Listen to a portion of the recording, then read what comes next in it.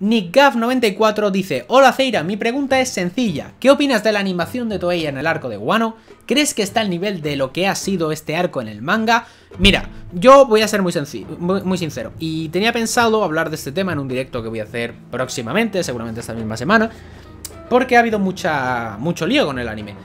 Yo sinceramente he de decir que Toei en cuanto a animación, en cuanto a animación, dibujo y todo eso, se la está sacando. En este arco de Wano se la están sacando. Han hecho una barbaridad. Muy bien dibujado, muy bien todo. O sea, eh, de 10. El problema es que la adaptación es horrible. Es muy mala. Es muy mala. Por un capítulo del manga te hacen 3 o 4 del anime. Menos en el flashback de Roger, que lo hicieron muy bien. Todo ahí sí que lo hicieron ordenadamente. Pero luego, de, un capítulo del manga, te hacen un montón. Te hacen un montón. Hacer, pudiéndote hacer un capítulo normal, te hacen eh, yo que sé, pillan un capítulo del manga y te hacen cuatro capítulos y el siguiente te hacen tres capítulos.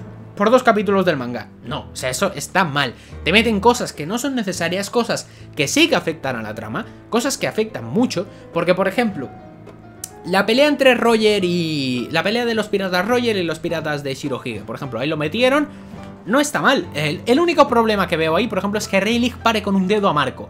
Y tú dices, oh, tan fuerte era Rayleigh, oh, tan débil era Marco.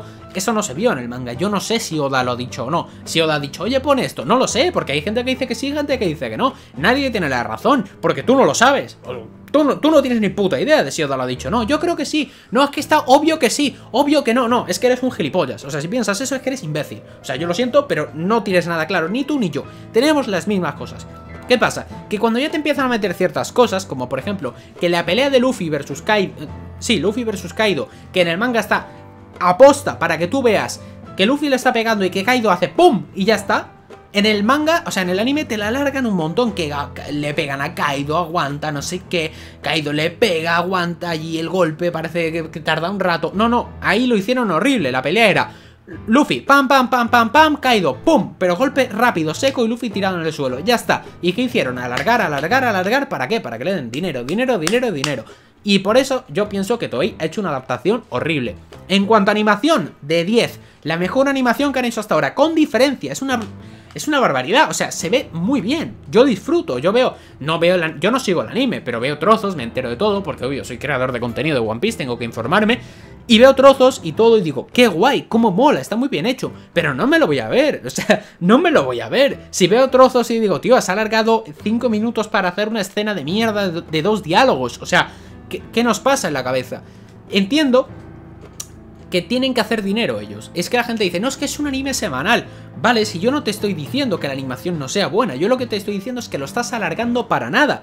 No tienes por qué alargarlo. Si lo sigues normal, ya está. Y yo entiendo, yo entiendo que tienen que alargar un poco para no pillar al manga, lo puedo entender, pero no tanto, no tanto. Es decir, si de un capítulo del manga me haces dos, por ejemplo de, de anime, está mal, pero no está tan mal como si me haces tres o cuatro ya, y siempre, ¿sabes?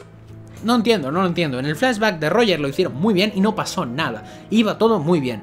Pero ahora la han tenido que volver a liar. Y ahora en el último capítulo se vio que Zoro usa el haki del, conquistador, el haki del rey para tumbar unos soldados. Y eso en el manga de One Piece no sale. Eso en el manga no sale. Y ya mucha gente dice, no, es que estaba confirmado ya en el manga que, que, que, Zoro lo tenía. No, mentira, no mientas. O sea, no estaba confirmado, no estaba confirmado. O sea, Kaido dice que sí, que parecía que lo había usado, tal, no sé qué. Yo estaba convencido que sí, que era Haki del Conquistador, pero no estaba confirmado, estaba el 99, era mi opinión, bajo mi punto de vista sí, estaba claro. Pero Oda no lo había, no había puesto, Zoro tiene Haki del Conquistador. Si no lo pone Oda, ya puedes decir misa tú y quien sea, que si Oda no lo pone, me da igual lo que haya dicho Kaido. Yo creo que sí, que lo tenía y que lo iba y, y, ya está, o sea, yo creía que sí, pero no estaba confirmado. El problema es que ahora con el anime ya te lo han confirmado, ¿por qué? Porque en el anime no te lo van a poner si luego no lo tiene. Porque es que se ha visto claramente que hace así, ¡pum! Y tira a la gente. Ya está. Eso está claro. Para mí eso está claro. Y, la gente dice, no, es que no es canon, tal. Ya, es, yo sé que eso no es canon. Pero vamos a ver, ¿tú te crees que van a poner que Zoro tiene el haki del conquistador si no lo tiene? No son tan imbéciles. Espero, vamos, espero que no sean tan imbéciles. Y para mí, Oda lo que quería hacer con esto era presentar el haki del conquistador en una batalla versus King versus quien sea en este mismo arco de Wano.